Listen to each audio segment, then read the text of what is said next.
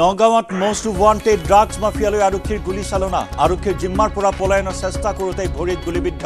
সোমবাৰে ব্ৰাউন চুগাৰসহ আৰক্ষীয়ে গ্ৰেপ্তাৰ কৰিছিল হেকমত আলীক উন্নত চিকিৎসাৰ বাবে নিশাই গুৱাহাটীৰ জি এম চি এইচলৈ প্ৰেৰণ গুলীবিদ্ধ হেকমতক।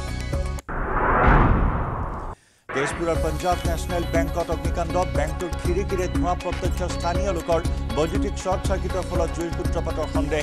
অগ্নি নিৰ্বাপক বাহিনীৰ তৎপৰতাত জুই নিৰ্বাপন। নুনমাটিৰ ডাবল মাৰ্ডাৰ কাণ্ডৰ হত্যাকাৰী বন্দনা কলিতাৰ জামিন খাৰিজ হোৱাৰ সম্ভাৱনা। বন্দনাৰ জামিনৰ বিৰুদ্ধে উচ্চতম ন্যায়ালয়ৰ কাষ চাপিব মহানগৰ আৰক্ষী। কামৰূপ সত্ৰ আদালতত গোচৰটোৰ ভুল ব্যাখ্যা হোৱাৰ দাবী মহানগৰ আৰক্ষীৰ।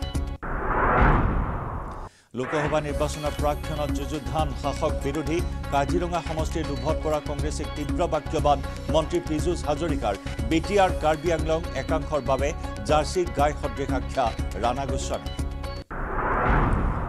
উত্তৰ কাশীৰ সুৰংগত আবদ্ধ শ্ৰমিকক উদ্ধাৰৰ বাবে ব্যৱহাৰ কৰিব ৰবট। উদ্ধাৰস্থলীলৈ বিছ আৰু পঁচিছ কিলো ওজনৰ দুটা ৰবট প্ৰেৰণ। ডি আৰ ডি অ'ৰ দহ দিনে চিলকিয়াৰা সুৰংগত আবদ্ধ হৈ আছে একচল্লিছজন শ্ৰমিক। আৰু আজিৰে পৰা মৰিগাঁৱত তিনিদিনীয়াকৈ আছুৰ অষ্টাদশ অধিৱেশন।